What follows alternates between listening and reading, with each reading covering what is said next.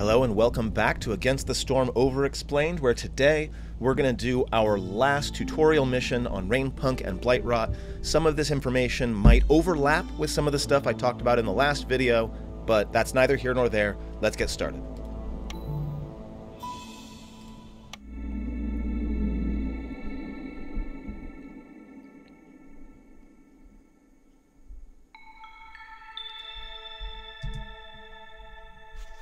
Rainpunk is a technology that harnesses the power of charged rainwater to enhance industrial buildings. Let's try to install Rainpunk engines in this tool shop. Press the button to connect the pipes. You'll notice that it takes four pipes to connect the building.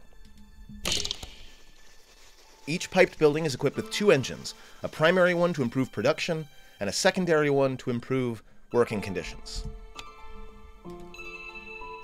However, using Rainpunk comes at a price.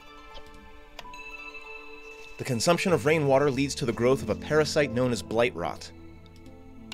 During drizzle and clearance, cysts retreat into their protective shells and pose no threat.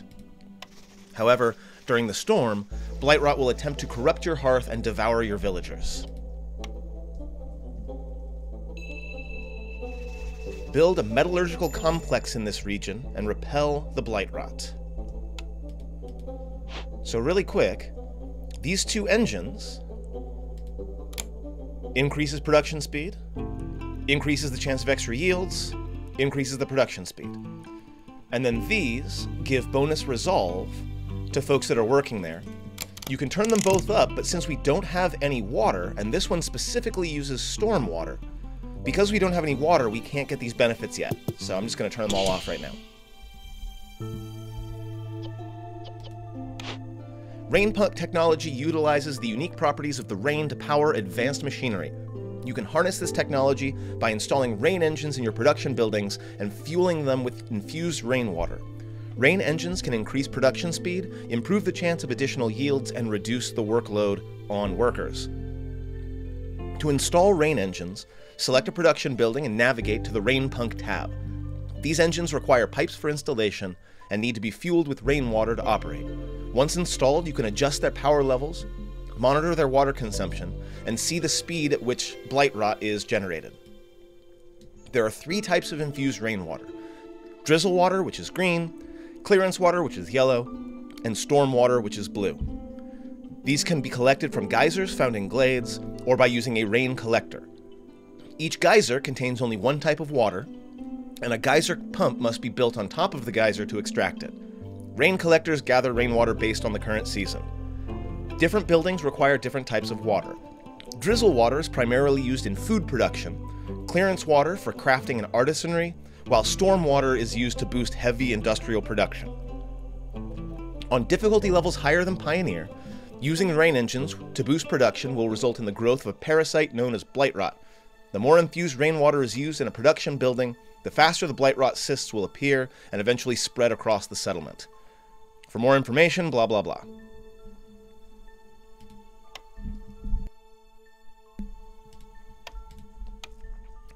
So as usual, I'm starting with a path.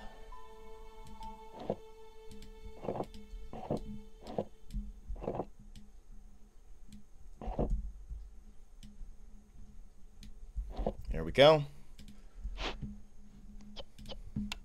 And what do we have already? We've got an oven, we've got a tool shop, it looks like we've got an herbalist camp we can start to staff pretty quick.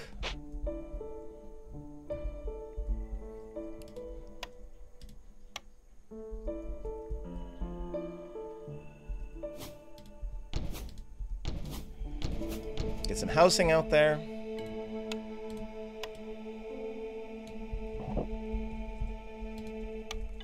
Grab our workstation. I see we've already got a geyser here, so we should probably go ahead and put... Ah, we don't have access yet. We'll go ahead and grab the kiln, the workshop, and the mine. Now, the workshop's interesting because it takes tier 2 materials to build, but it's way more efficient than the crude workshop. So I feel like I can actually destroy the crude workshop.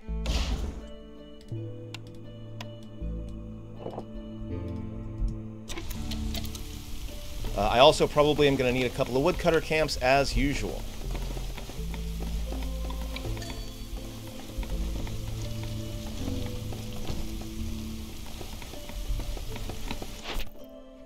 Mining basics. We want to make a mine. We want to mine up 20 copper ore. Well, we've got copper right here. So we can go ahead and drop a mine on that. Generous gifts and golden marrow. Two amber for every 20 sea marrow, or newcomers come with more goods. We'll pick generous gifts. And we're going to start making decorations immediately.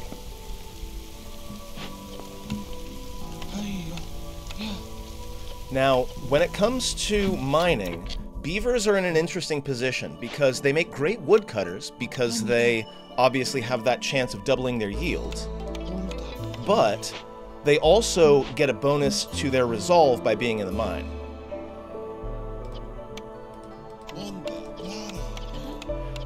There's only 60. Um, what's it? Uh, the, the node only has 60 charges to it. Though later on in the game, we'll be able to upgrade the mine to essentially delve more deeply and more greedily.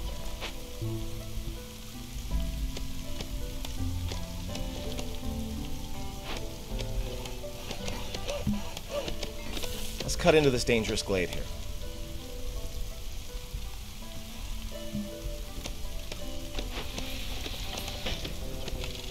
Staff one person in the workshop.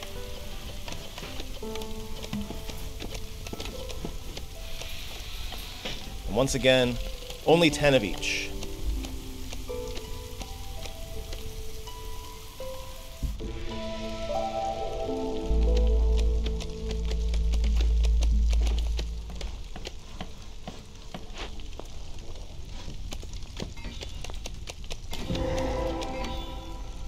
Okay, mining basics is done, so we'll go ahead and deliver that for some biscuits and some beavers. And in fact, Oh, yeah. we'll drop them in there for the resolve boost. Now, what do we have here? We've got some farmland, we've got some eggs, we've got a press, more copper, fallen lizard hunters. We can either pay for their funeral or we can rob them. Robbing them gives us a bonus to our movement speed, some wine, and some meat. And we don't really have the resources to pay for the funeral anyway, so that's what we're doing.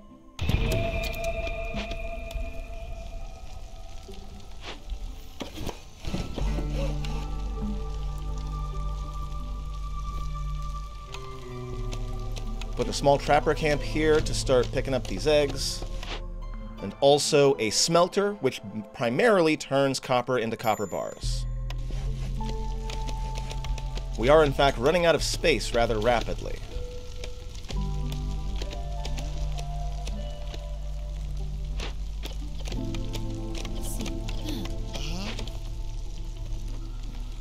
We're going to expand in this direction.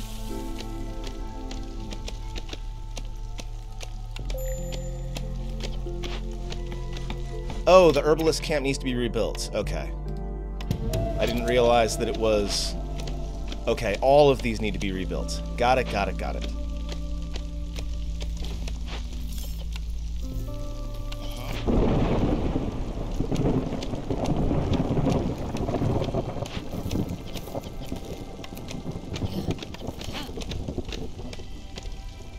Now, produce coal, produce copper bars. I have not found any coal yet, so we're going to have to keep searching. I think this is the next glade we're going to cut into. But I also need to produce copper bars, which I can do at the smelter.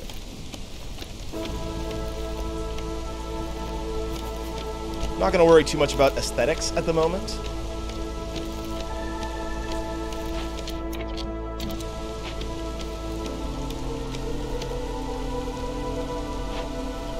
Do need bricks something awful.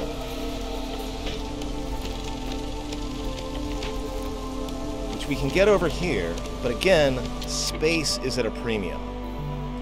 We're going to ditch the smelter before it even gets built. We'll drop a stone cutter camp out here so that we can start picking up that stone and turning it into bricks. New cornerstone and new people. All houses have room for more villagers, and every discovered forbidden glade lowers hostility. I'm not necessarily going to be expanding to any forbidden glades. Let's go with crowded houses, which completely wipes out any houseless folks or any houselessness in my settlement.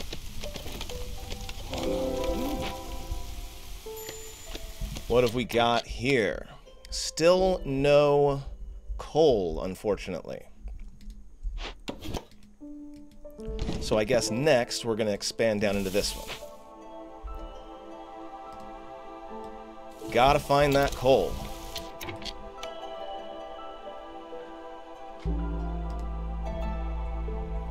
And in fact, I think we can now set up a second woodcutter camp. This whole area is just a mess. Just ignore it. It's fine. I do believe, though, that I can now make my smelter. Get you out of the way.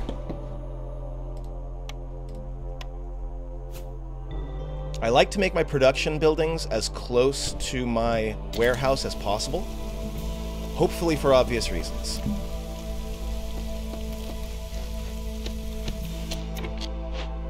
Now, is there another way for us to make coal other than finding and mining it?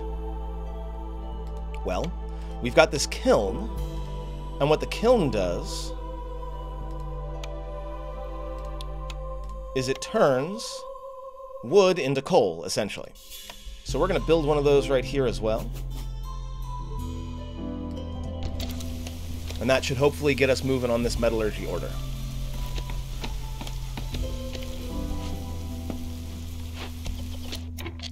This definitely means we want to get a fully staffed second wood cutting camp, though.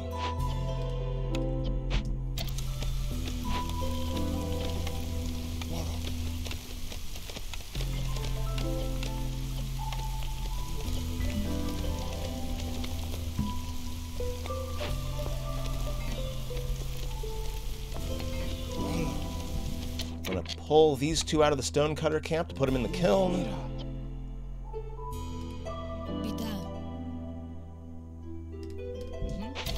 You don't have to have all of your facilities fully staffed right away.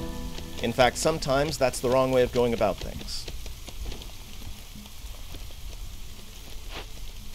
And this smelter makes copper bars. Once again, let's see.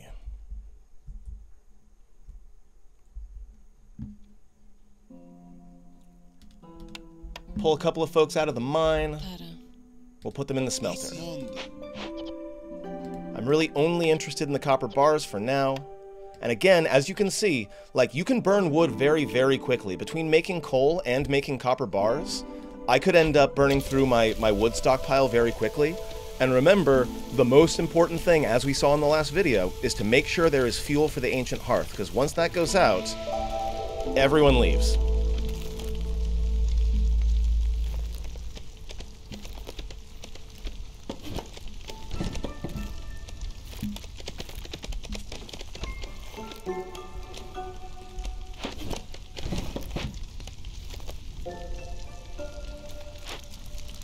You're at the highest level that you can currently reach. Definitely want to get some more bricks. And what have we here? We have a golden treasure stag, which immediately runs into this dangerous glade, and we want to chase after it. So we are right away going to change our path and have a nice, efficient route into here because we only have four minutes to get it done.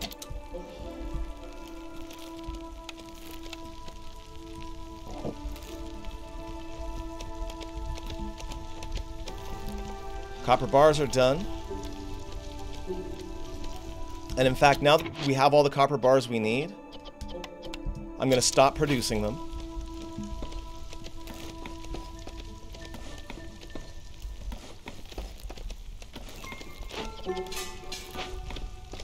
Almost done with coal. When you are cutting into a glade with a timer, you do have to remember that it does take the uh, the folks time to bring the wood back to the main warehouse. So if you find yourself really frustrated, that might be why. Okay, with the golden treasure stag, we have two options. We can catch it, take all of its treasure, but the forest will curse our riches, or we can release it and it will share some of its riches um, willingly. And we only have 1 minute and 25 seconds to make a choice, or else it's going to leave. We're going to go ahead and release it which gives us a plus one to global resolve and 25 amber. What else we got in here? We have this Altar of Decay, which reduces hostility when a villager dies or leaves, which I'm not too super interested in, so I think we're going to tear it down.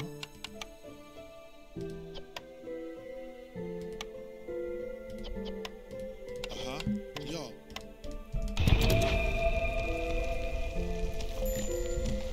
And the mine has run out of copper ore, so for now we're going to abandon it.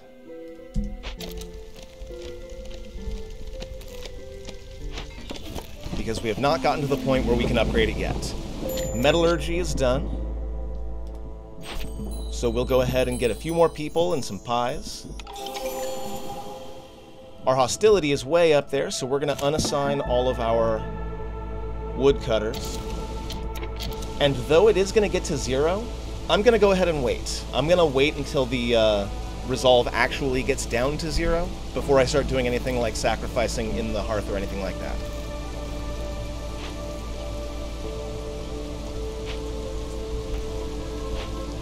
We can go ahead and rebuild this brick oven.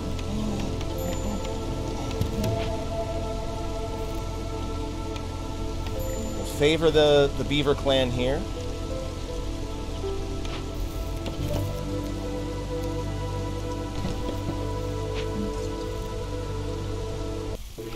And that gets us back to the drizzle. Neither of these looks particularly interesting to me because I'm not producing either training gear or reeds. So I'm going to decline for 10 amber. And we're going to pick up the small farm and immediately place that down.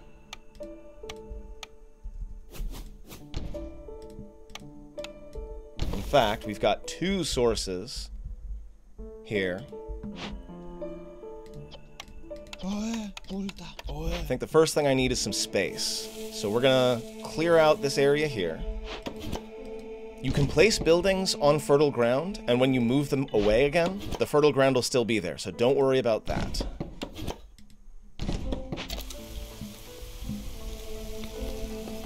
I'm supposed to be producing pipes now, which I believe I can do in the workshop at the cost of copper bars.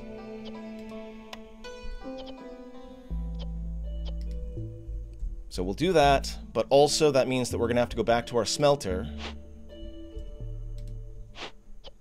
and start making some more bars. I'm going to use coal instead of wood because you can see making a copper bar only takes one piece of coal while it takes five pieces of wood.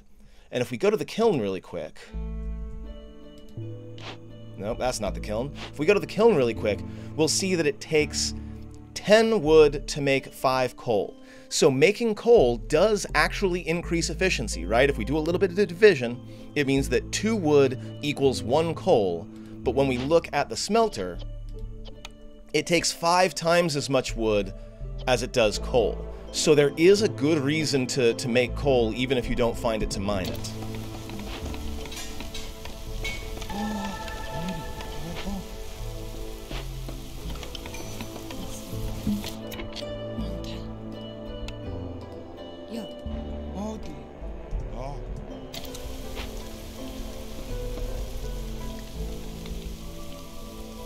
We also have newcomers waiting.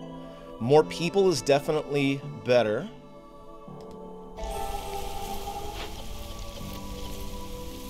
Especially once we get this second farm up and running.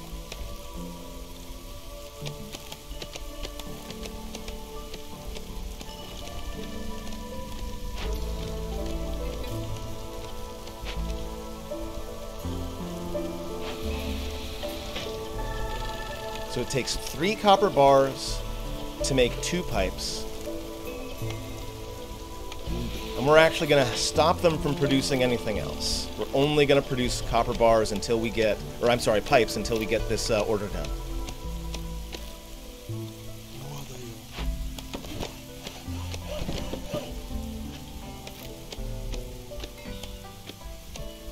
I'm going to say that the correct place to put this farm is probably going to be in this corner right here.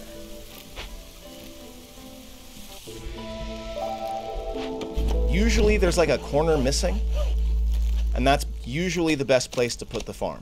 Not all the time, but usually.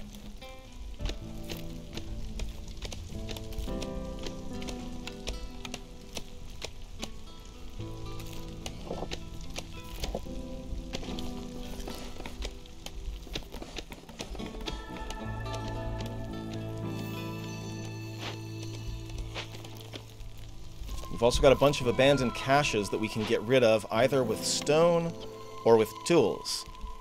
With tools, we get um, reputation and amber. And I believe we can just go ahead and go to our tool shop and we'll start making some tools. Uh, pipes are done.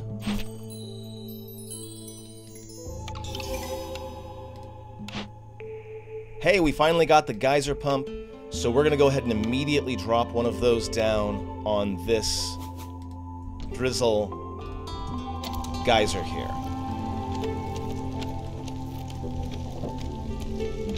We've also got a storm geyser here.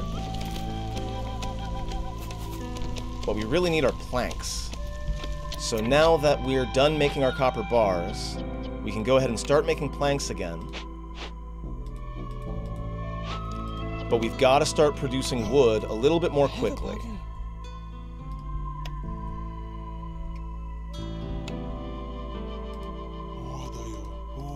There we go. Once again, gotta keep your eye on your fuel.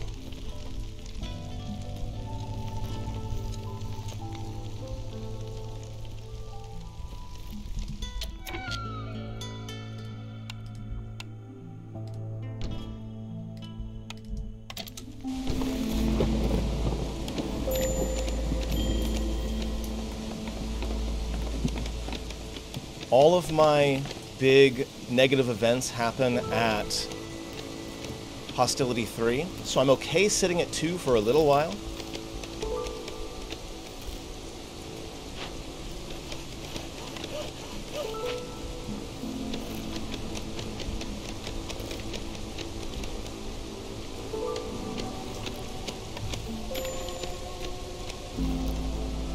And in fact, I don't have to fire my woodworkers at all.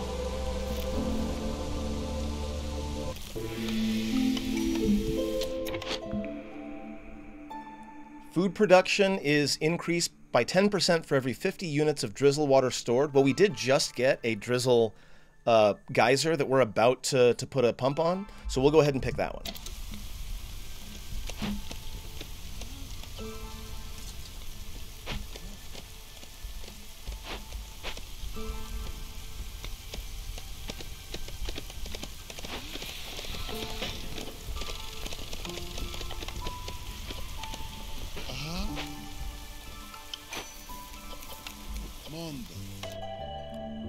People, we'll grab the one with lots of food.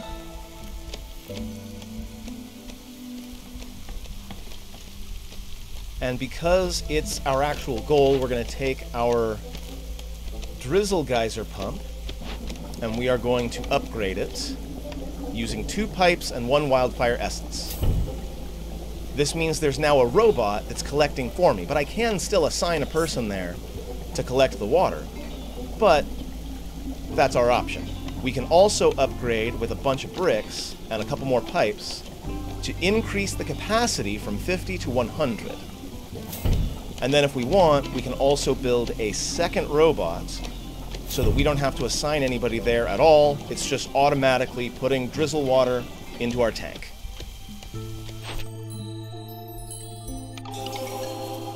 Our next thing is to produce three rain engines in production buildings. Okay. We'll start with this one. Now, we don't have enough pipes to upgrade this one, so for now, we're going to assign a couple of folks to start collecting that rainwater. And we've got the rain mill, which will make us some flour and some other stuff.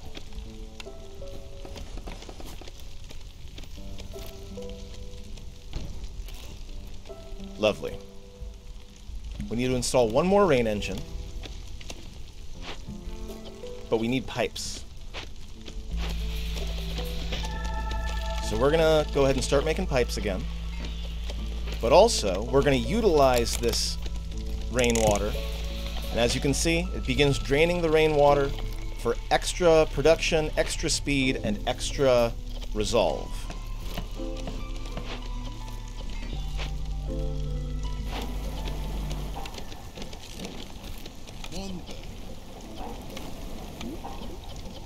Are mostly here to make flour.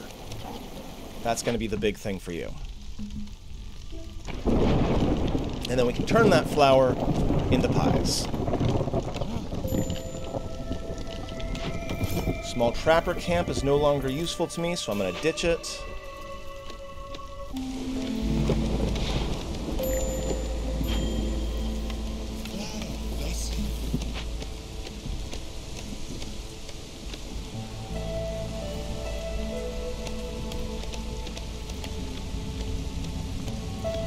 See we've got a little bit of blight here.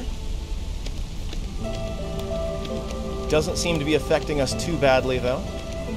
You'll note down here, it says the percentage that it expects, the percentage of blight rot that it expects to get before the end of the storm. If this is over 100%, then you want to get something done to try to deal with it because if it gets to 100%, then it'll kill a random or it'll kill some random villagers. Uh, for right now, we're going to lower our hostility to keep people from leaving.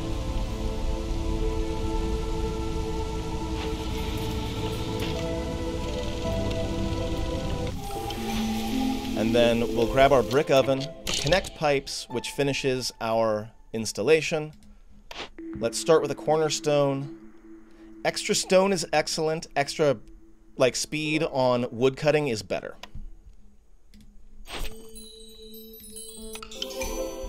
Up next, we got to make a blight post and five purging fire. And hey, how convenient. We got the blueprint for it.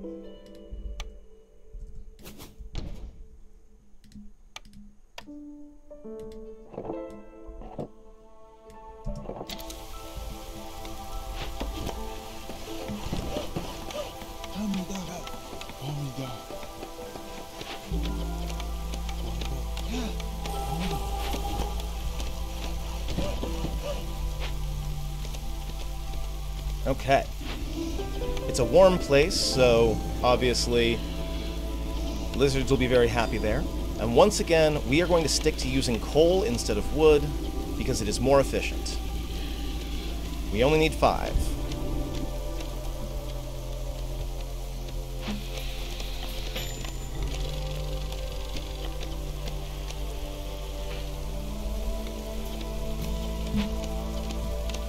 We got newcomers incoming. Got plenty of grain. But all the rest of this food is super useful, so we're going to do that. We've got a lot of people without homes right now, so we got to fix that. I think we can just put another housing complex right here.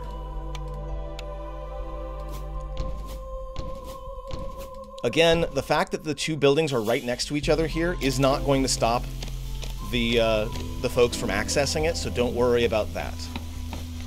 Obviously, I would rather have a path in between the two, just for aesthetic purposes, but it doesn't actually matter.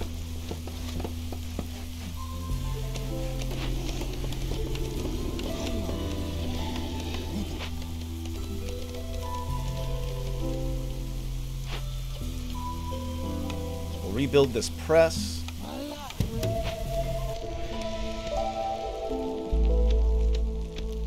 And uh, how am I doing on tools? I've been making tools, right? I've also been making barrels. I've got six. So that's enough for me to send one of these to the Citadel. Ah. Oh. We got our five purging fire. And now we want to burn three blight rot cysts, and we want to use 100 units of stormwater, which we're already almost there.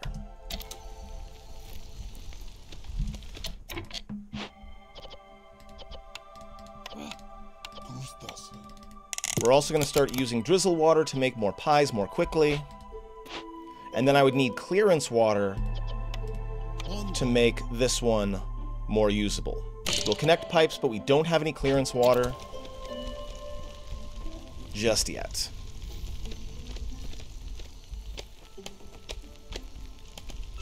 I want to be using lots and lots of rainwater at the moment because I want to get three cysts going. We have three currently, so by the end of the next storm, I should be good on this order.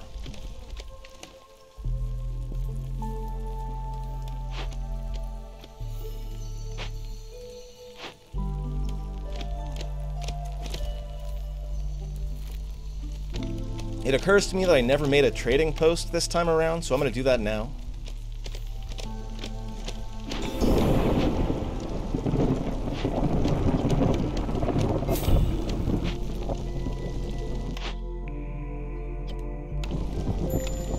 Clan hall. Not a lot of space for it. And we should have, yes, here we go. Boom, that's three down instantaneously. We'll go ahead and pick up some tools, some mushrooms, some barrels. And then what do I need? I need to send or open three abandoned caches. We've already done one. We need to complete a Forbidden Glade event. And we need to make the clan hall, which we're already in the middle of doing. So, Forbidden Glade. That's what we're looking for. There's one up here. I don't know if we're going to get that one. And that's actually an important thing to note. You don't have to do all of the orders. In fact, there are achievements for beating levels without using orders at all. Uh, we're not doing so well on Resolve at the moment. But if we sacrifice just a little bit of coal, that should get us back up to a place where everyone's in positive resolve. Just in time to keep one of the beavers from going home.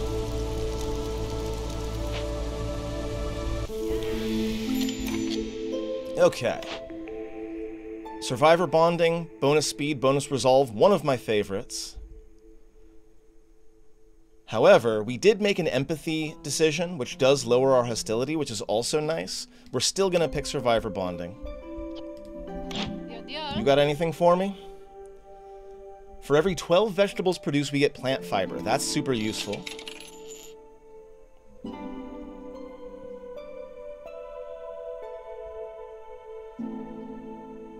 Other than that, though, you don't really have anything that I need.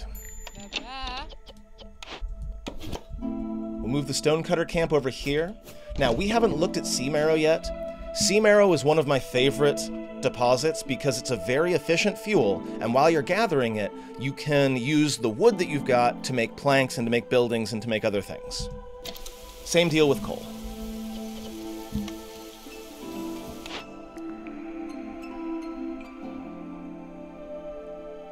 What do we have the most of? Humans and lizards. We'll, we'll pick the lizard house this time.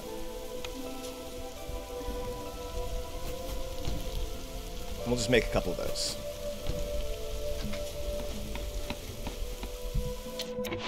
And we've got plenty of tools, so we're going to go ahead and send a couple of caches to the Citadel. I think we've got another one over here. Yeah.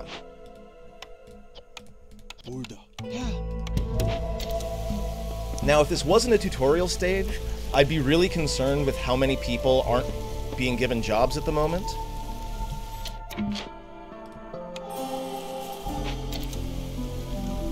But it's only a tutorial, so I'm not too worried about it. I guess we'll start making our way towards this Forbidden Glade up here.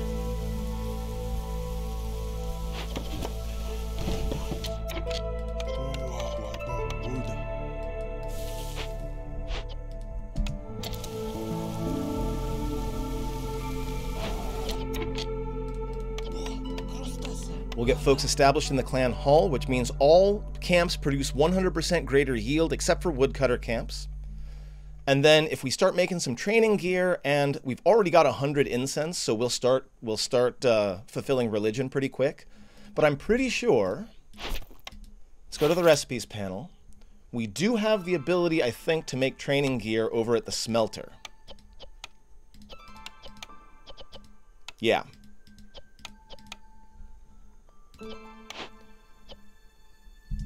So we're going to start doing that, and they're going to start making some training gear.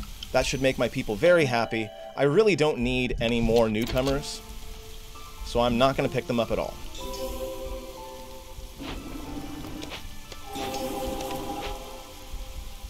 Got our three caches opened.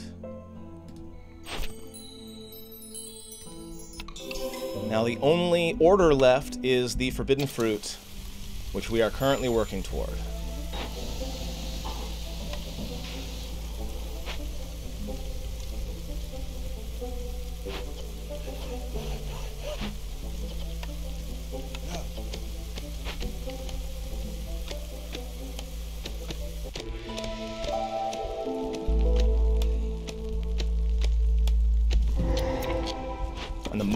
Get that open, we are immediately, because it's one of our orders, going to begin cutting our way towards this Forbidden Glade. Alright, what do we got in here? We've got a Rain Spirit Totem, which we are going to just burn down. Nice and simple. We've got some people here that we're going to send to the Citadel. Because again, we do not need more people right now. Overpopulation can really screw up a run. So be aware of that.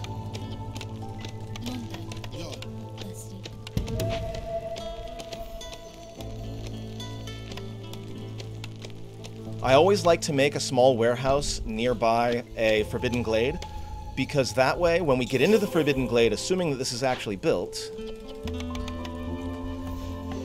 whatever resources we need for the Forbidden Glades event, we don't have to go all the way back to the main warehouse. We can just get it from that one.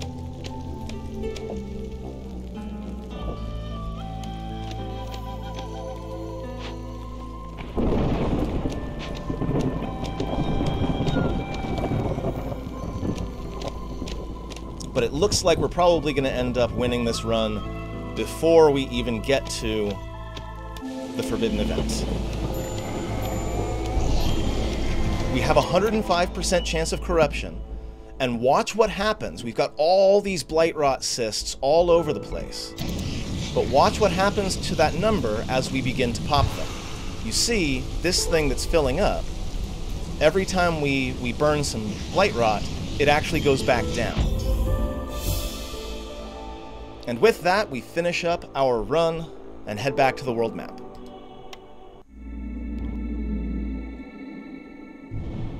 So, that is the fourth and I believe final tutorial. Next, we're going to be continuing to make our way towards this bronze seal.